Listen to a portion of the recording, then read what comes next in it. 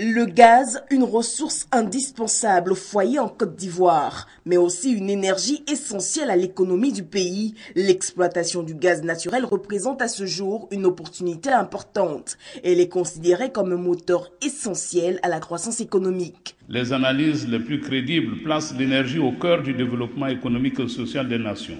Le défi qui nous attend et que nous devons relever, c'est de valoriser au mieux ses ressources et faire la Côte d'Ivoire un hub énergétique en Afrique.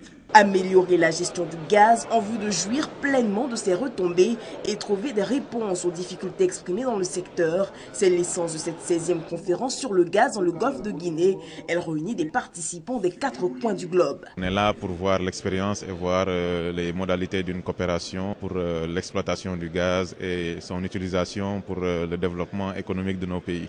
Le management de, la compagnie Rialto est dans un processus de signer un nouveau contrat, euh, un nouveau CPP, un contrat de partage pétrolier avec le gouvernement et nous sommes en dernière étape à négocier euh, ce, nouveau euh, CPP. Cette 16e édition examinera outre mesure les projets collaboratifs intra-régionaux ainsi que l'effet de levier du gaz sur les économies de la région.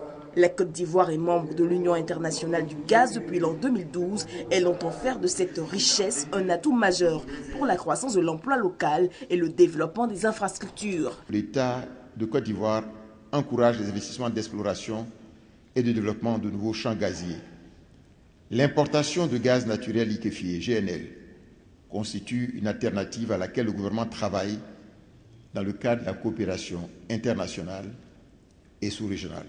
La rencontre refermera ses portes vendredi. Plusieurs thèmes devraient être visités, notamment l'exploration, production, la dynamique du marché du gaz et la problématique de la collaboration régionale.